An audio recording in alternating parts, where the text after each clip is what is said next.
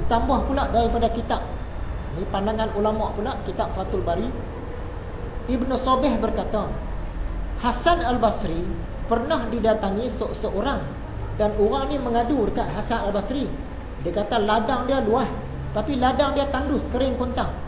Hasan Al-Basri kata, banyakkanlah istighfar. Yang tu cara dia. Banyak istighfar, insya-Allah ladang kamu yang kering kontang tadi tu dia akan subur. Kemudian datang pula orang lain mengadu pula kebun dia kering.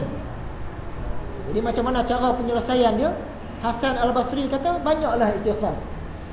Yang tu je. Ada pula orang lain datang pula lagi dia kata dia ni belum dapat anak lagi. Ha, kata Hasan Al-Basri banyaklah istighfar. Itu ha, kelebihan-kelebihan istighfar. Daripada Al-Quran pun ada, daripada As-Sunnah pun ada, daripada pandangan ulama pun ada. Jadi bila kita dah tahu kelebihan-kelebihan ni Memang kita rasa nak buat lah ha, Bila-bila masa pun boleh buat lah ha, Tak cukup lah 15 kali sehari semalam kan. Lepas semayang kita Astaghfirullahalazim 3 kali kan. Baru 15 kali. Nabi Muhammad pun tadi 70 kali Lebih. Jadi bila kita dah tahu kelebihan-kelebihan ni Kita memang nak buat banyak lah ha, Saya ringkaskan di sini Kelebihan istighfar yang kita tengok tadi Daripada Alkitab, As-Sunnah dan juga pandangan ulama' Yang pertama dihapuskan dosa-dosa. Yang kedua kalau rajin istighfar boleh mengelakkan kemarau. Boleh tamatkan kemarau. Dan kalau kita sesat tak ada air pun dengan istighfar ni boleh mendatangkan air. Yang ketiga, harta kita dibanyakkan. Yang keempat, anak-anak kita diramaikan. Kalau yang nak ramai anak. Dan yang belum ada anak pun insya-Allah boleh dapat anak. Dengan istighfar. Yang kelima, dapat kebun-kebun yang subur. Yang keenam, kekuatan kita ditambah. Yang ketujuh, kita diselamatkan daripada siksaan pada hari kiamat. Yang kelapan, kita diberi rahmat oleh Allah. Kalau uh, ahli sufi, dia tumpu yang rahmat ni lah. Yang kuat, yang subur, yang apa anak isteri semua tadi tu dia kurang. Uh, sebab dia ni beribadah kerana cinta akan Allah. Uh, dia dah sampai peringkat tu dah. Kita pun nak ikut jalan tu lah.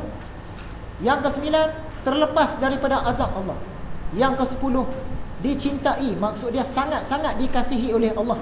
Ha, Golongan tasawuf pun yang ni lah yang dia nak. Yang ke sebelas Dapat pula pahala sebab mengamalkan sunnah Nabi. Yang ke dua belas Dibersihkan hati kita daripada sebarang kehitaman dosa. Ini ha, hadis yang berkait dengan titik-titik tadi tu. Yang ke tiga belas Dihilangkan kesedihan kita Digantikan dengan kegembiraan. Ini ha, kalau kita istiqamah istighfar.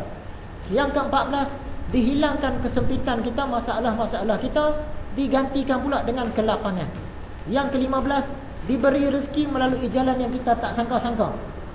Yang keenam belas rezeki kita yang selama hari ini tertahan masih belum sampai masih belum dikeluarkan masih belum dimunculkan dilepaskan. Ha, dimunculkan dikeluarkan. Yang ketujuh belas silap-silap dipilih sebagai kekasih Allah. Ha, yang ni golongan tasawuf dia cukup suka. Jadi dalam banyak-banyak nikmat ni kalau jalan menurut jalan ahli sufi dia nak rahmat. Dia nak dicintai oleh Allah. Dia nak dipilih sebagai kasih Allah. Ha, yang tu yang lebih utamalah ha, bagi jalan tasawuf. Tapi yang lain-lain pun memang kita nak juga. Jadi kita tahulah sekarang betapa banyaknya kelebihan-kelebihan istighfar mudah saja pun astaghfirullahalazim. Ha, cukup astaghfirullahalazim. Kalau ikut jalan Al-Ghazaliyah pada hari Rabu seribu kali. Ha, hari lain-lain itu suka hatilah. Tak ikut jalan Ghazaliyah pun tak apa ikut jalan kita sendiri pun boleh. Ha, tak ada masalah. Bila-bila masa rasa nak istighfar istighfar. Ha, macam-macam boleh dapat. Saya ulang balik pengalaman saya dulu cerita pasal contact lens. Banyak kali cerita dah ulang lagi. Satu hari saya cuba pakai contact lens. Biasa pakai okey. Masa tu tak mau pakai cermin mata. Sekali satu hari tu pakai-pakai tiba-tiba dia termasuk dalam sangkut kat atas macam-macam cara nak korek tak sampai.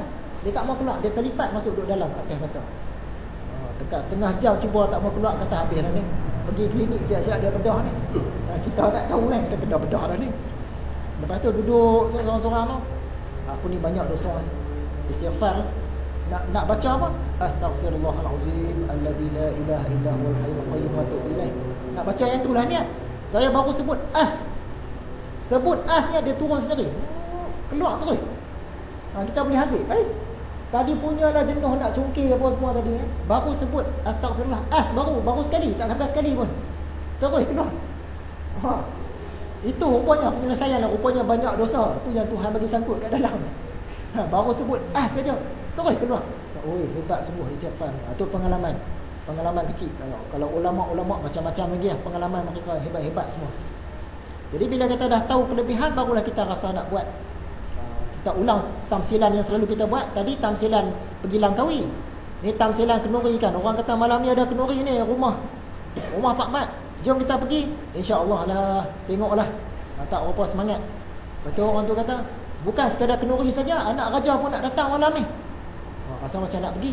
Bukan sekadar anak raja nak datang. Malam ni siapa datang dia bagi seorang RM50. Ha, confirm pergi. Ha, kita dah tahu semangat. Ha, dah tahu dah kelebihan-kelebihan. Macam istighfar lah. Buat apa istighfar lebih-lebih cukup lah. Lepas semayang tiga kali cukup lah. Kan? Oh, bila kita dah tahu kelebihan-kelebihan dia. Hujan pun boleh turun. Ladang pun boleh dapat. Kan? Banyak kelebihannya. Kita pun masa nak buat lebih lah. Mana nak buat lebih. Dan yang terakhirnya.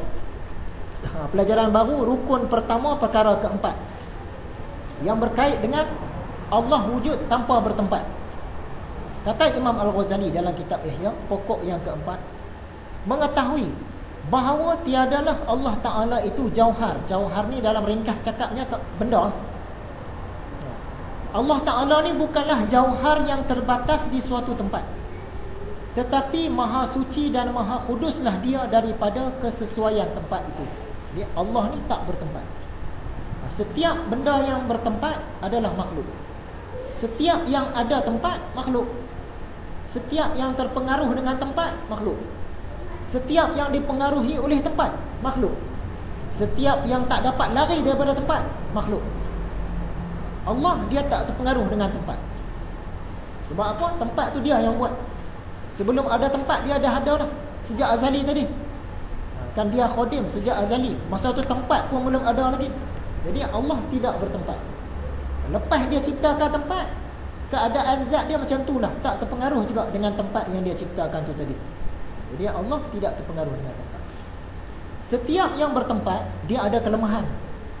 Macam kita ni Bila kata makhluk makhluk bertempat semua makhluk bertempat ada kelemahan. Lemah kerana apa? Lemah kerana makhluk ni terpaksa bergantung pada tempat.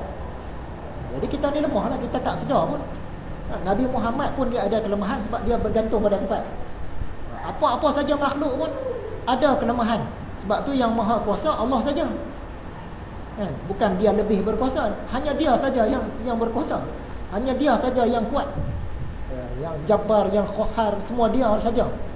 Itu yang maksud maha tu tadi. Maha besar, dia saja yang ada kebesaran. Jadi makhluk ni lemah sebab terpaksa bergantung pada tempat. Lemah kerana terpaksa berhajat kepada tempat. Kalau tak ada tempat lah kita ni nak wujud di mana? Kita tak boleh nak wujud, kita tak boleh nak ada. Syurga pun dia kena ada tempat. Kalau tak ada tempat, tak mana syurga nak duduk? Dia tak boleh wujud. Allah sangat hebat, maha hebat. Tak ada tempat pun dia dah siap-siap ada dah. Dia boleh wujud. Kalau tak ada tempat, makhluk tak boleh wujud. Tak boleh nak ada. Bukankah itu satu kelemahan? Ha, nak kena ada tempat, barulah kita boleh ada. Lemahlah tu. Jadi Allah, dia tak kena benda tu. Maha suci. Kita tahu subhanallah. Ha, salah satu penghayatan subhanallah tu berkait dengan tempat ni tadi. Allah dia tak bergantung pada tempat untuk dia wujud. Jadi dia maha suci daripada sebarang kelemahan. Kita ni lemah, kita perlu kepada tempat. Allah maha suci daripada kelemahan tu. Apa sahaja yang ada kelemahan, tidaklah dia maha suci. Jadi makhluk ni bukan maha suci lah.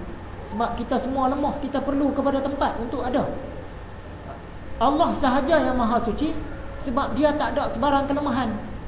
Antaranya, dia tak bergantung kepada tempat dia tak berhajat kepada tempat dia tak perlukan apa-apa tak perlukan siapa-siapa yang kita ni kita perlukan apa-apa kita perlukan siapa-siapa yang Allah dia tak bergantung pada siapa-siapa dia tak hajat siapa-siapa dia tak perlukan apa-apa ha, dia boleh wujud dengan sendirinya sejak azali ha, itu kita duk baca selalu qul huwallahu ahad Allahus Samad. Ha, Allahus Samad tu huraiannya semua yang ada ni semua berharap pada Allah. Semua bergantung pada Allah, semua berhajat pada Allah. Kalau Allah tak ada, semua ni tak akan boleh ada. Semua semua maksud dia semua lemah lah. Allahus Samad tu maksud dia selain daripada dia tu semua tu lemah. Sebab semua kena bergantung. Semua kena ada tempat bergantung. Allah dia tak perlu tempat bergantung.